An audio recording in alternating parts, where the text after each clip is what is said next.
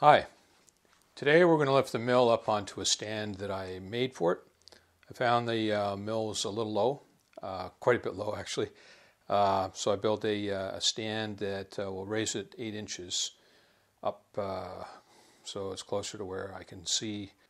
so I thought the videos, to me, I, I labored over how am I going to lift this after I got it in place. And you saw probably in the previous videos uh, where I rolled it into place on rollers and uh, uh, I used the uh, stationary hoist system that I had in the front of my shop in order to get it up on the stand and now it's a matter of uh, lifting both the machine and the stand it's attached to onto a base.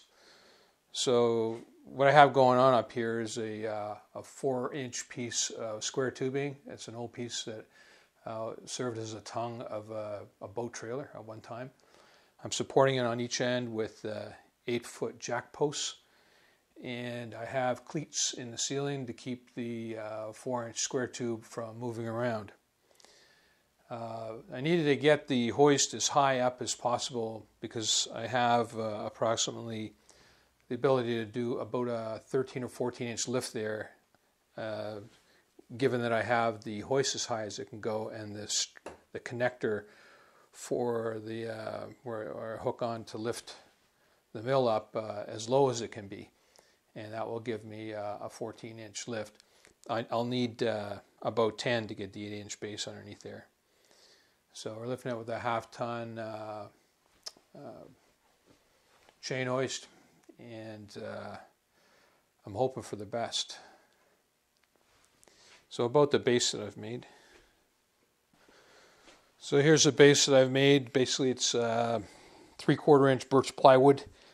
Uh, it has a double layer on the top, single layers on the side, and it's dadoed um, all throughout. And other than the uh, the outside, you have three cross pieces for further support. I feel pretty good about uh, how strong this is. We'll see how it works out.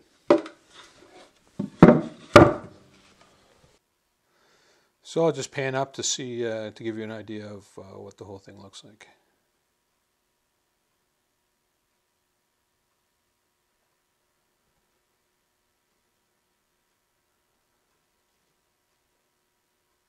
Okay, let's get to work.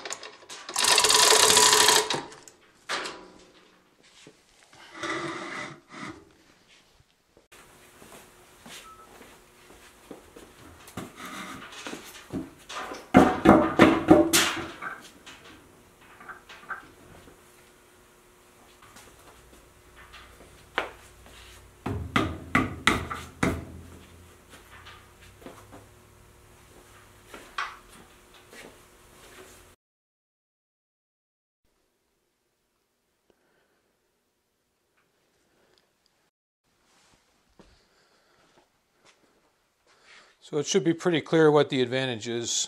Uh, this is uh, with my, uh, I have my arms now bent at 90 degrees at the elbow. It certainly is much more ergonomic.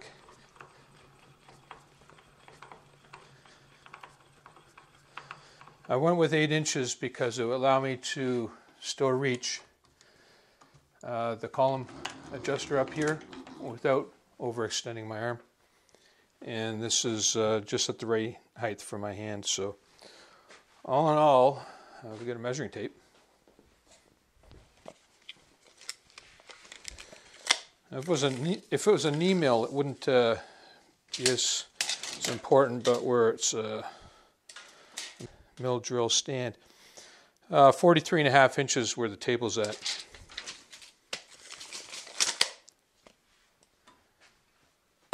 Okay, uh, I hope that uh, gives you some ideas for a home shop gantry, a temporary one.